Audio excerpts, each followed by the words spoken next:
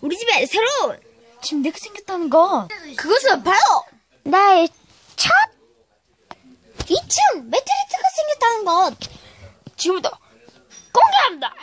사다리로 올라가시면 왕 그냥 침대가 보인다. 어, 어디 보자 야지